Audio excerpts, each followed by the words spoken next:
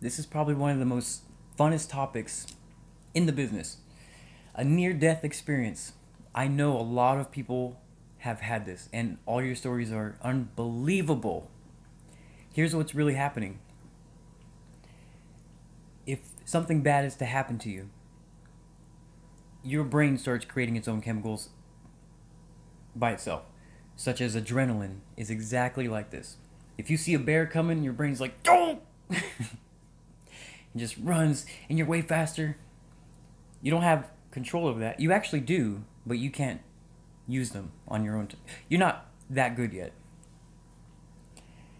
So, in a near death experience, your brain will create these chemicals that allows you to believe that you're either dead or you're about to die. And in that you'll you will interpret death the way that you currently believe it is. Any way that will wake you up from the experience. I'm going to say it again. Death does not exist. You are the universe experience itself over and over and over again. It is all one big chemical experience. And if you enter that gateway of death, that you believe you are dead, you will be handed the answers. But it's still funny because you have to interpret it the way your mind will interpret it. You will have probably lost your ego, like immediately, because you'll have seen the truth, or a deeper interpretation of the truth. And you will change. It will just change you.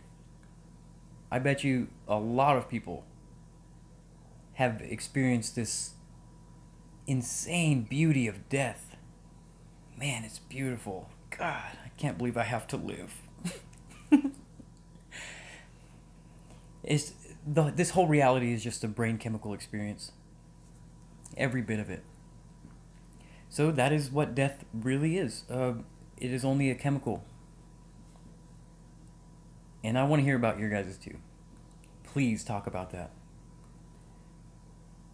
A lot of you have been through this. I've actually already seen you guys type it out. Oh man. Beauty, beauty, beauty. we all have to die. Maybe.